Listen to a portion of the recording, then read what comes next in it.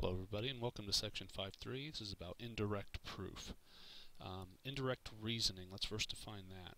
Indirect reasoning is when you assume that the conclusion is false and then show that this assumption leads to a contradiction of the hypothesis or some other accepted fact, such as a definition, postulate, theorem, or corollary.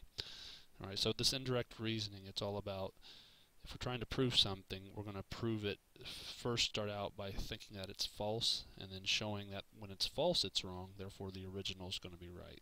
So that's what we get when we get indirect proof. Proof by contradiction as it's also known. Since all other steps in the proof are logically correct, the assumption has been proven false, so the original conclusion must be true.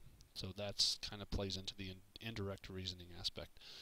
Steps for finding, um, writing proofs indirectly, uh, step one, assume the conclusion is false. So if, if there's a statement, you need to say the opposite of that.